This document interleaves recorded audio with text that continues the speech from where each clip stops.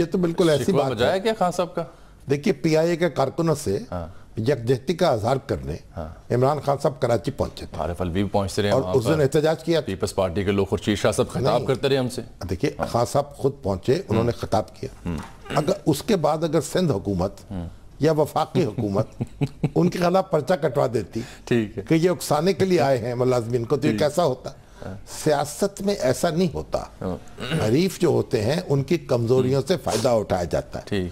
उनके मुखालफों को अपना दोस्त समझा जाता है। दुश्मन का दुश्मन दोस्त होता है। तो खान साहब ने पीआईए के कारकुनों को और उनकी लीडरशिप को आ, अपना उनका यानी अपने साथ मिलाने की कोशिश की। उनके साथ हमदर्दी का इजहार करने पहुँचे। उनकी आवाज़ बुलंद की उनके हक में नारे लगाए।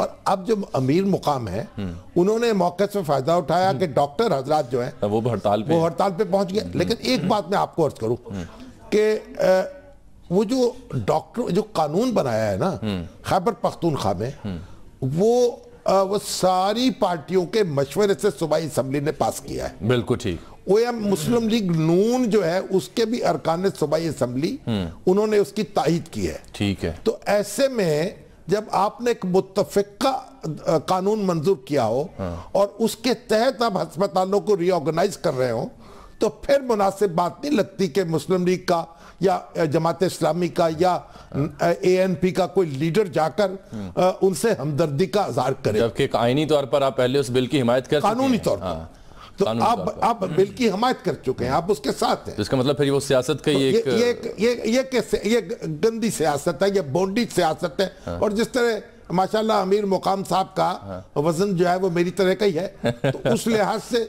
ये वजनी तो हो सकती है लेकिन मंतक नहीं है इसमें। मंतक नहीं है ठीक। बहरहाल लेकिन ये जो खान साहब इमरान खान साहब कह रहे हैं ये भी एक निराली बात है। क्योंकि ये काम तो होता रहता है हमारी सियासत में। इसे ही सियासत कहते हैं। इसमें पर्चे नहीं कटवाए जाते। ठीक है। इसमें मुकदमे नहीं होते। ठीक। तो ये भी बात जो है तजावुज है अपनी हदूद से। बिल्कुल ठीक। यहाँ नाजरीन प्रोग्राम में एक